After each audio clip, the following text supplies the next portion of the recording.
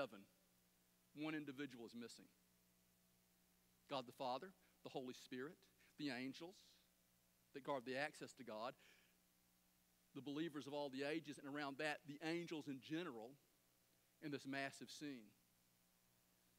But missing from this scene is the central person of the Bible. The most important person is missing.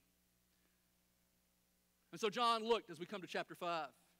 And he saw in the right hand of, of the one who sat on the throne a book written inside on the back, sealed up with seven seals. Now, when you think of a book, you're kind of talking about, you know, okay, like a, like a book, like, like a Bible with, with pages. Technically, that's referred to as a codex, but that's neither here nor there. But what John was referring to as a book in the ancient world was not that, it was a scroll. And he said he saw this scroll and it was written inside and on the back, which itself is kind of unusual for a scroll because usually you only write on one side because just the way papyrus is put together, papyrus was made at that time. And the Bible said it was sealed up with seven seals. Now, what, what is this about? I thought to give you a hint. There are a lot of scrolls, some of them did not have seals. Now, as you read the scroll, you would break one of the seals and you would unfold the scroll. I want you to just think now. If any of you have ever bought a house or property, you see a seal on that. The seal is ownership, the seal of the state. This seal is beginning to tell us what we've got here is a legal transaction that is taking place. Now, get this scene. Who controls all there is? Who is the God that ultimately controls everything. Obviously, the God we worship Yahweh, the self existent one, the Lord God. And He's got this. I've got the deed. I've got the deed to the world. I've got the deed to the earth. And we're ready to kick the usurper out. Who's the one that's come in and tried to steal the world? Who is the God of this world? Who makes this present world look so good to you? Who uses the lust of flesh, the lust of the eyes, and the boastful pride of life to try to tempt you. Oh, but this is a great scene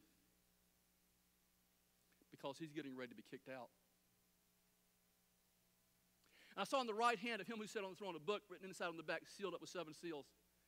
And I saw a strong angel saying, Who is worthy to open the book and to break its seals? And no one in heaven, no angel, no cherubim could ever open the book. No one on heaven, no one on earth, no king, no president, no, no human ruler is able to open, and, and no one under the earth. Satan may temporarily be the God of this world. But the usurper does not have the right to this world. He does not have the right to open the book and the seven seals. And no one was found worthy. No one. Because the person that opens, the person that God is going to give this world to, the person that is going to be the leader. I want you to stop just a moment and think of me. Or think with me. Don't think of me, that'd be a bad thing to think of. But think with me. We all want a leader, don't we? We all want to put our hope in a man. I want to make a statement. In the bottom line, man is incapable of ruling himself. Just think of that. What man do we really trust to lead us?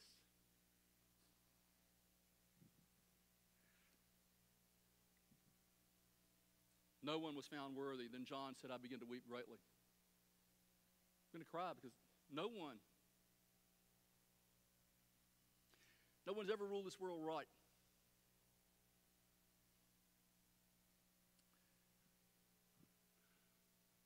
You think of that. That's why you tell churches don't put your hope in a man. No pastor can lead a church right. No, no, no,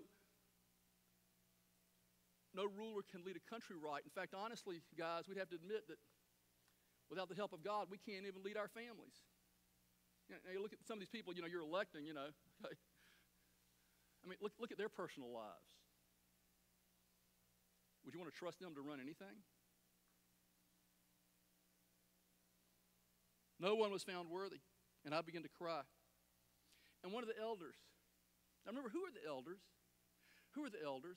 The elders represent the believers down through the age. One of the elders said to me, Stop weeping. I want you to think of that. The elders, 24 elders, represent the believers down through the ages. And as a believer, you can say to the world, and you should, do you put your faith and trust in Jesus Christ? Then you need to be able to tell the people around you, stop crying, stop fretting, stop worrying. You ever run into somebody in the midst of a problem, and this is how you know you have a, a person that trusts God. Don't trust this person but you can trust this person in the sense that he knows to trust God or she knows to trust God. That's the kind of person, honestly, I'm looking to follow. One that knows they can't do it, but one that knows the one who can do it. That's the person you need to follow.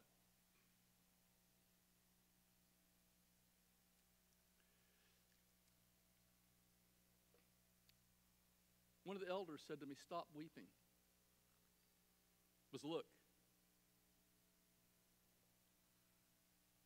One has been found worthy. And John looked. And he saw standing between the throne,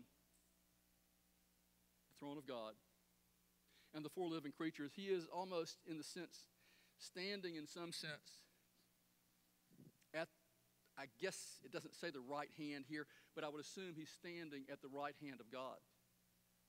Because every time it's, it describes where he's at in terms of that scene. It is at the right hand of God. So I assume that's where he's at right now. Between the throne and the, and the four living creatures, in other words, he's as close as these angels are that guard access to God, he's even closer.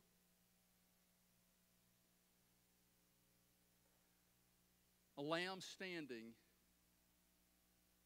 as if slain.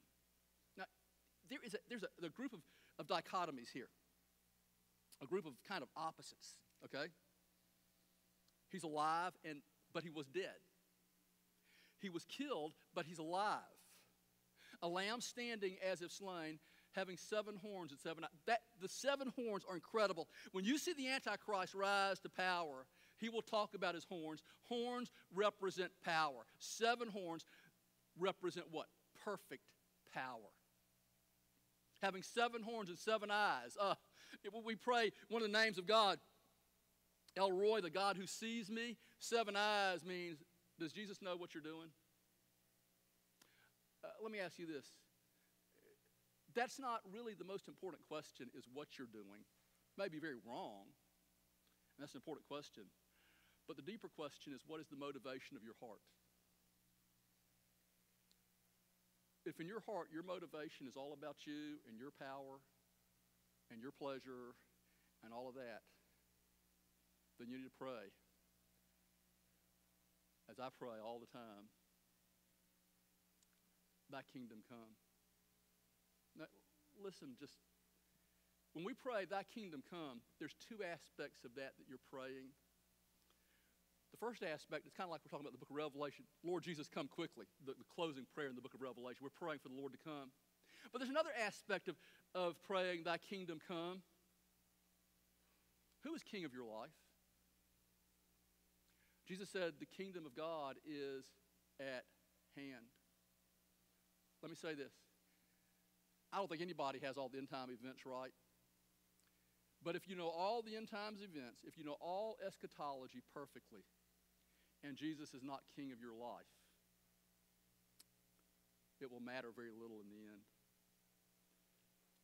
Think of that. There'll be preachers in hell. There'll be Sunday school teachers in hell. There'll be deacons in hell. But they can even conduct church in some sense in hell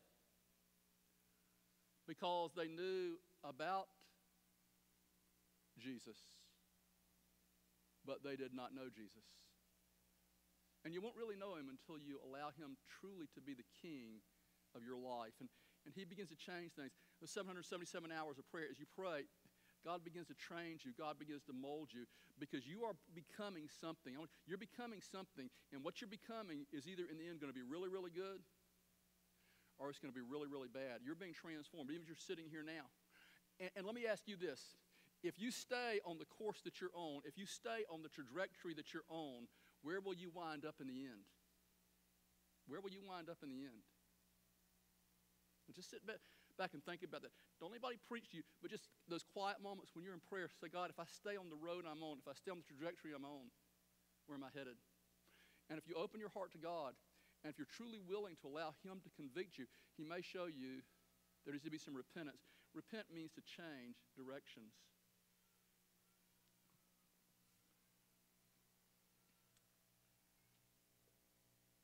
Don't weep. Behold the lion of the tribe of Judah, the root of David. Now, he was alive and dead, and now he's called the root of David. Over in Revelation t- chapter 22, it says something amazing. He is the root and descendant of David.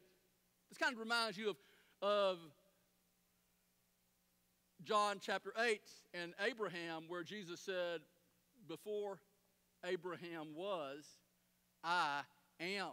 And, and, and said, Look, you're not even 50 years old. It's probably, probably 30, actually, or 31 or 32 at that time. You're not even 50 years old. So, how do you say you're older than Abraham? You know, Abraham is, you know, 1,500 years before this time. Let me ask you this How can Jesus, when he's on earth, 32 years old probably at that time actually, say, Before Abraham was, I am? How can he say here, I am both the descendant of David and I'm the root that precedes David?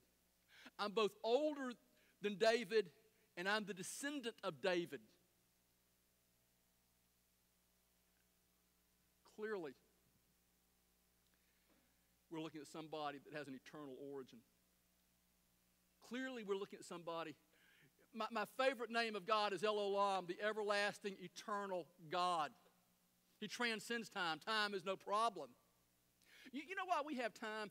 And this, this, this is not, don't preach this gospel but this, this is my theory, and I could well be wrong, but I want to share this real quickly. The reason we have time is because we're limited and we're fallen.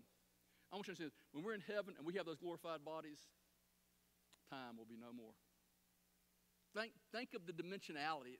I'm not going to go there. That's way, way, way beyond my pay grade. And I, I'll say something that's wrong. I don't understand. But I'm telling you this right now. We do not know. Eye hath not seen, ear hath not heard nor hath it entered into the heart of man what God has prepared for those who love him. But it's going to be amazing.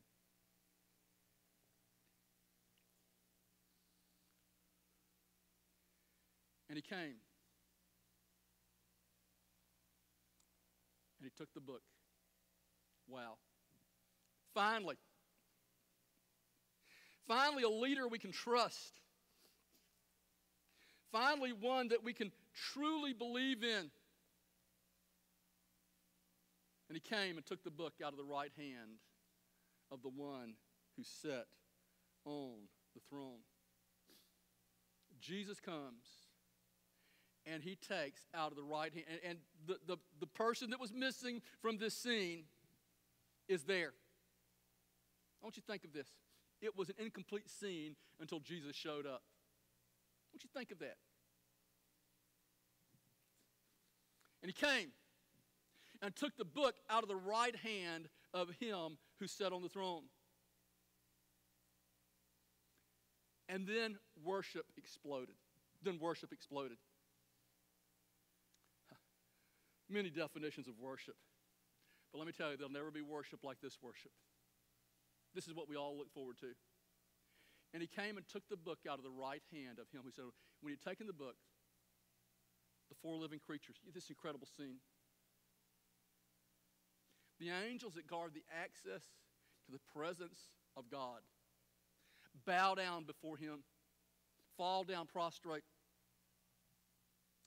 And the 24 elders fell down. Every single one, and remember again, the elders represent the believers in heaven. Many reasons for that, and we'll talk about it as time comes. They fall down. They fall down they fall down. Talk about those harps later on, but I want to just concentrate on what they were holding. They were holding bowls full of incense.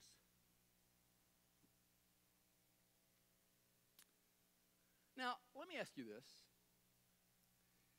In your prayer life, or if you participated in the 777 hours of prayer, or even if you didn't participate in the 777 hours of prayer,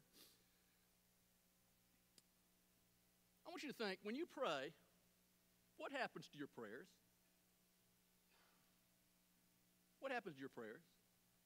You think you just, okay, I, I prayed this prayer and it didn't get answered. Well, you know, if you pray selfishly for what you want, you know, God give me $10 million, that might be the worst thing that ever happened to you. I mean, you know, give me unlimited money when I'm 20 years old. That's not going to be a good outcome. That's not going to be a good scenario. I can promise you that.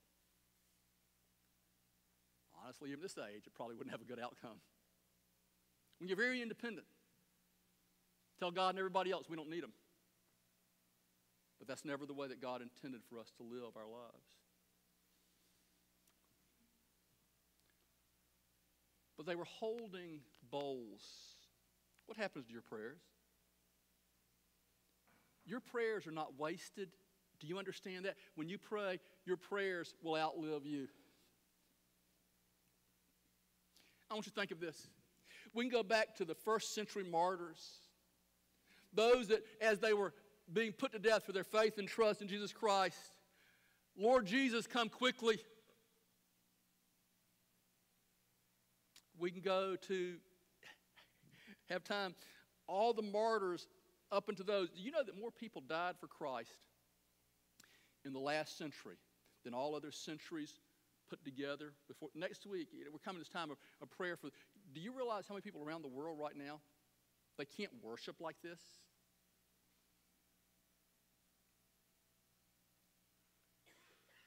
honestly i think we would be ashamed of ourselves if we had to stand before them on the day of judgment they paid with their lives and we, we complained about the littlest things But those prayers, that bowl of prayers, are those who prayed for Jesus to come. And they fell down. And they said, We have prayed for this moment. All the believers of all the ages, we prayed for this moment. We prayed for this moment that Jesus would come. I'm going to ask the band to come out now as we get ready. This is a very worshipful time, though. They prayed for this moment. They prayed for this very special moment. They're praying for Jesus to come. The Bible talks about crowns, and as we look at this, you're going to see them cast their crowns before the throne. A lot to be said about that. They prayed for this moment to come. They prayed for Jesus to come. And as as we come to this time, to the close of service, the time of the invitation, I, I just want to give you this scene. They're praying. He is taking the seven seal scroll. And what we're going to study over the next probably six months is what's going to happen. He's going to rip that first seal. And a rider on a white horse is going to come who's going to promise the world everything.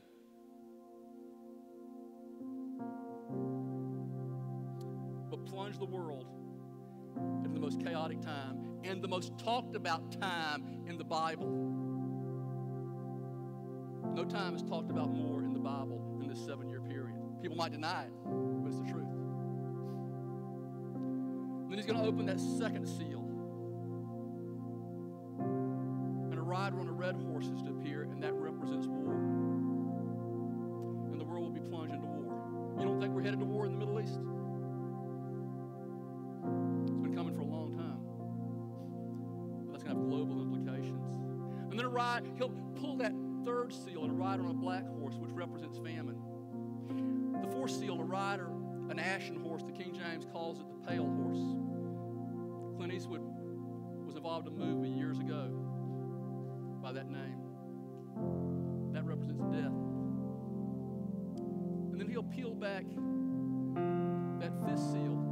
That fifth seal will represent those tribulation saints that will be saved during the time of the tribulation. They'll be saved. They will pay for it with their lives. And the sixth seal. Represents the physical changes. The sun will be darkened, the moon turned into blood, the mountains and the islands will be removed. And the seventh seal. A lot said about that seventh seal. That seventh seal encompasses way too much for me to even abbreviate today. It encompasses actually 14 you get to Revelation 19, I saw heaven open. See, heaven always opens for God to take action. Heaven opened when God sent His Son. Heaven opened when John was called up to see what would take place. But then as heaven is opened, there'll be something